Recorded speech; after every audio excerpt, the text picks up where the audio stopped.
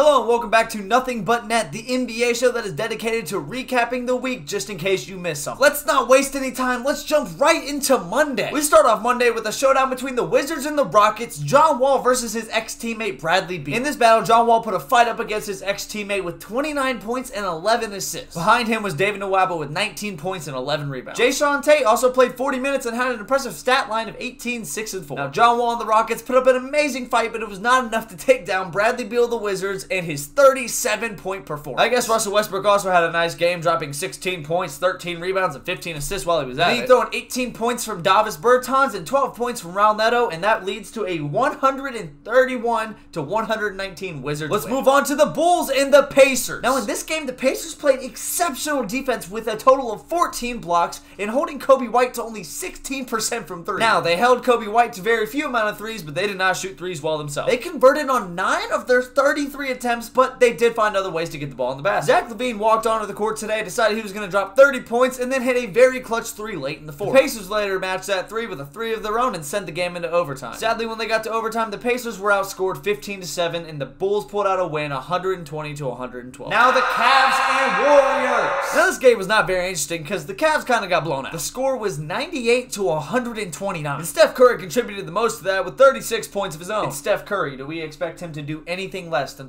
36 points? James, I noticed that you think you can sing. The reason I bring this game up specifically is because I want to talk about Andre Drummond. It came out last week that the Cavs were looking to trade Andre Drummond. They've been playing without Andre Drummond since February 12th, and they're trying to get rid of him before the trade deadline on March 25th. I do find it important to note that they also have lost every single game since they decided to sit and the two before. Maybe the Cavs just suck. And now we move on to the Nets versus the Kings. Why do none of these games sound exciting when I say Now, this game's not exciting because the winner should be obvious. I just said it's the Nets versus the Kings. Who do you think's gonna win? It wasn't me. James Harden boasted a 29-point triple-double, and Kyrie Irving had a 40-bar. It becomes more clear game after game that Kyrie Irving has taken on the shooting guard role all the way, and James Harden has taken on the role as the point guard. Look at me, sure.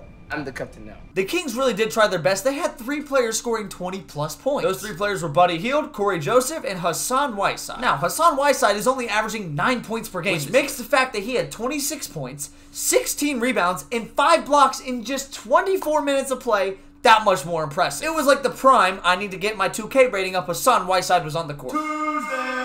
Now for this game, I want to pass it off to my buddy Noah Leyco. And if you aren't familiar with Noah Leyco, you should definitely subscribe to his YouTube and follow him on TikTok. His name on both is Noah Leyco, so it, it that, that's kind of cool. So take it away from here, Noah. Yo, you guys, now let's talk about that Timberwolves versus Pacers game. Now, obviously, I'm not crafty.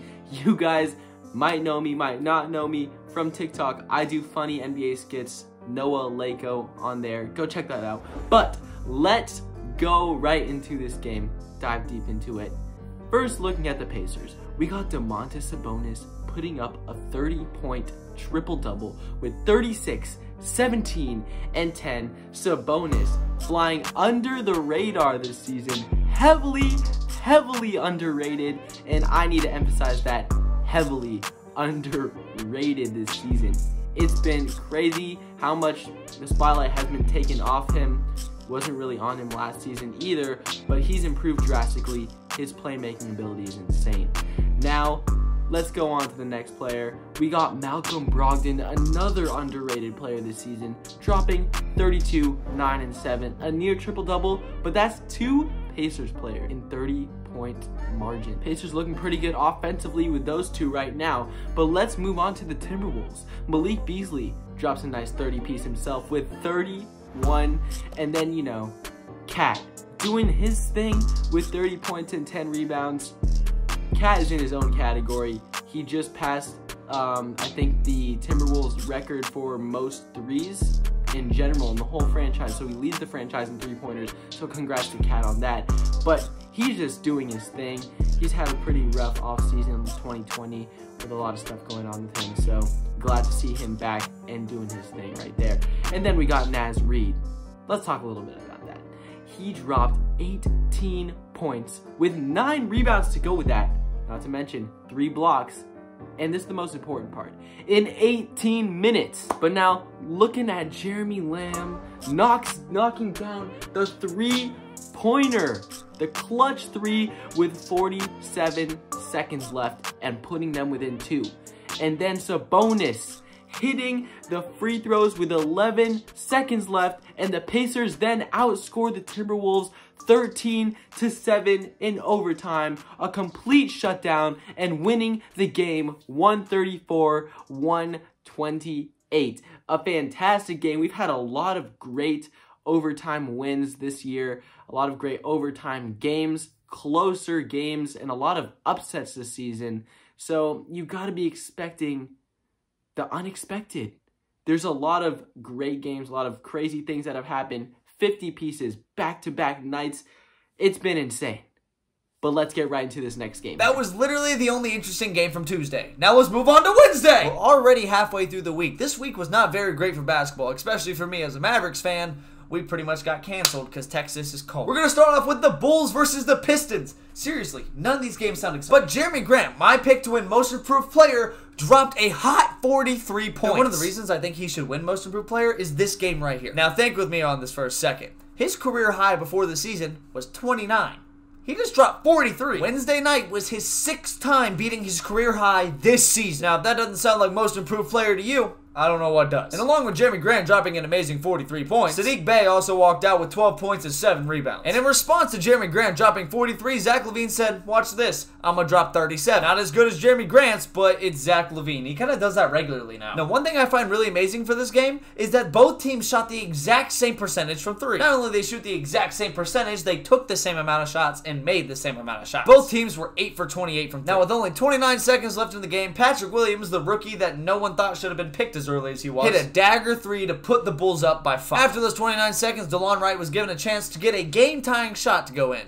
And and he did. Listen, I miss him on the Mavs, but hey, that's what happens when you leave the Mavericks. I mean, just just look at Dennis Mitchell. The Bulls beat the Pistons 102 to 105. But shout out to Jerami Grant. The Nuggets versus the Wizards. Now in this game, Bradley Beal had an off night. Bradley Beal's standards of an off night is 25 points. To go along with his measly 25 points, he also shot one for five from deep tonight. Or that night. It's not tonight. But Davis Bertans made up for that with nine threes of his own with a 35 point career night. Now Nikola Jokic and Jamal Murray had something to say about that, combining for 68 total points. One point away. With just eight seconds left, the Wizards were up by three points. With just two seconds of that left, Jamal Murray hits a deep three to tie up the game. It's looking good. It could go into overtime, right? The Wizards pass it in, and the Nuggets foul Bradley Beal with point one second left. Bradley Beal makes his free throws to win the game. That was the, one of the most terrible endings I've ever Thursday. seen. Thursday. There's only one game to talk about because, like I said, this was a very not interesting basketball. But I'm still going to deliver this news. We're going to be talking about the Raptors and the Bucks game, and there's only one thing to talk about. That's how not interesting this week was. Remember last episode where I said that Norman Powell was horrendously underrated? He showed out again on Thursday, dropping 29 points, shooting 9 from 12 from the so field. why have y'all here? I'm just letting you know, it's not too late to hop on the Norman Powell hype train, but hey, it's going to be too late soon.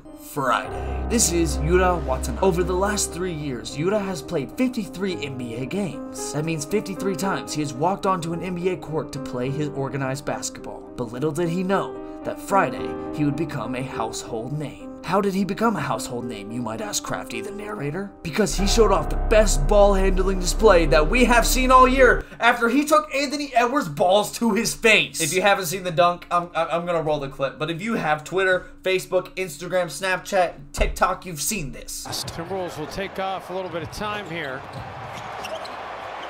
Ooh, they were lucky that wasn't turned over. Anthony Edwards, that time he does finish with the exclamation point. Now, that was an amazing dunk, but to be 100% fair, Anthony Edwards did not have a good He shot 0 for 7 from 3 and 3 for 14 on the entire night with 7 points. But hey, I'm not taking away from the dunk of the year. That was great. So let's talk about the rest of the Timberwolves and Raptors game. It, there's not much to talk There was only one player in this entire game to score 20 plus points, and you know who it was? Norman Powell! The only player in this entire game to drop 20 plus points was my boy Norman Powell, who dropped 31. He said, forget 20 plus points, I'm dropping 30 plus. The Norman Powell hype train is now leaving the station. A chew, Now, let's move on to the Nuggets versus the Cavs. Uh, Andre Drummond still is not playing. Which, here's the thing. I'm really not a fan of this because me, my roommates, and our best friend are all going to see the Cavs play on the 23rd. I was personally getting really excited to watch Andre Drummond play live because he follows me on TikTok and I bought his jersey because of that. Also, I really like him. It's not the only reason I bought the jersey. You know what? Just for this, I'm wearing this the rest of the episode. I really love Andre Drummond, and I'm sad that I'm not actually going to get to see him play now. Now, let me go over my history of disappointments in the NBA. My very first NBA game was the Cleveland versus the Mavericks, okay?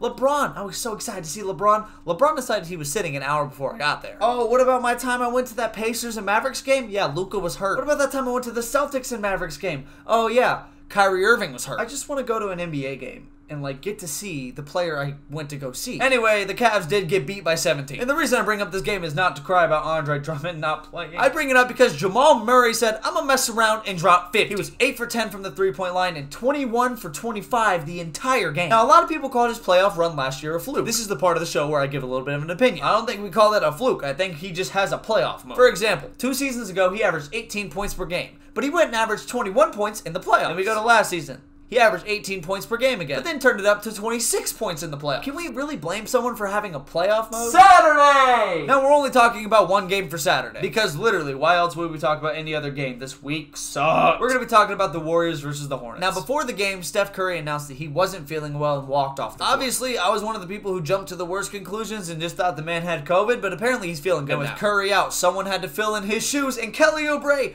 really, he really tried. He really did do his best. He had 25 points and shot 4 from 9 from 3, which is actually really good if you consider how he started the season off. But, like, that's that's just not Steph Curry. It's just not. And for the second week in the row, who are we talking about? Terry Rozier. Hi, how are you? This week, he dropped 36 points, which is almost a 40 bomb if you can't do math. With 9 seconds left, Terry Rozier hit a pair of free throws to tie the game at 100 to 100. And then with 1 second left, Terry Rozier has the ball. He takes a deep two, contested by the way, and he knocks it down. The Hornets beat the Warriors 102 to 100. Terry Rozier, is he underrated or is he just show up whenever I'm talking? To go along with everything I just mentioned about Terry Rozier, he knocked down eight threes and was 12 for 19 from the field. And that was nothing but net. I want to give a quick shout out to Noah Leyco for being a part of this episode. If you're not subscribed or followed to him, you really should be. I'm going to put it up somewhere on the screen how you follow and subscribe to him. And if you're not subscribed to me, you should do that too. Thank you for watching Nothing But Net, the NBA show that is dedicated to recapping the week in case you missed anything. Thanks for watching, guys. Make sure you subscribe. I love you. God loves you. Have a fantastic day.